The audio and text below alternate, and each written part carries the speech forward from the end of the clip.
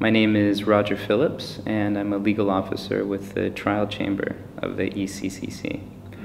And uh, what this role entails is providing legal advice and assistance to the judges of the trial chamber, in particular, at their direction, drafting decisions and the judgments in the case.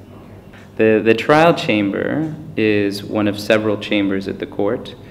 Uh, after the investigation is completed, a closing order is submitted, and if charges are envisaged, then it is sent to the trial chamber to assess the truth of the allegations in the closing order.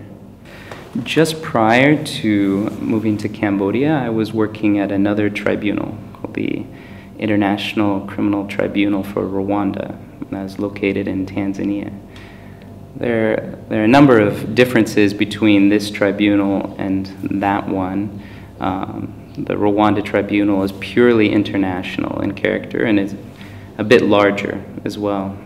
But one of the drawbacks of that court is that it was located outside of Rwanda. So one of the things that motivated me in coming to Cambodia was this uh, possibility of getting involved in a court that is located where the, the alleged crimes occurred. And so I, there, there are certain advantages to that, um, not the least of which is this uh, possibility of uh, encouraging as much discussion in the population that is most affected by the, the criminality or alleged criminality. I think one that, that arises here is the necessity of doing everything in the three official languages of the court, which are Khmer, English, and French. Um, this, this means that the judgment, in order to be completely fair, uh, should be delivered in three the three languages of the court.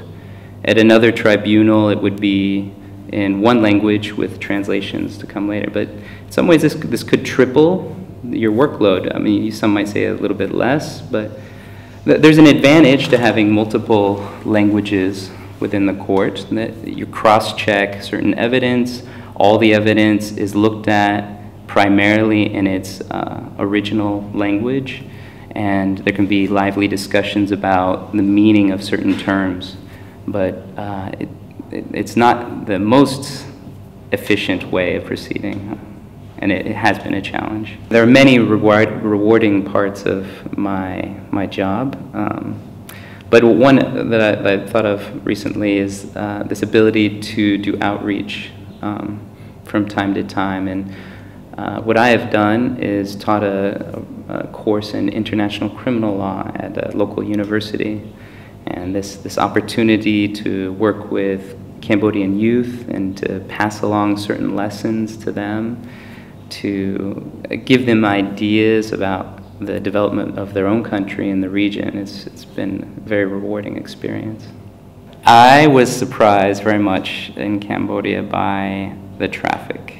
And if you can imagine, the first time trying to cross the street here for a foreigner is, is a challenging experience. I've heard it said that uh, before you can understand the Cambodian people, you need to understand Cambodian traffic.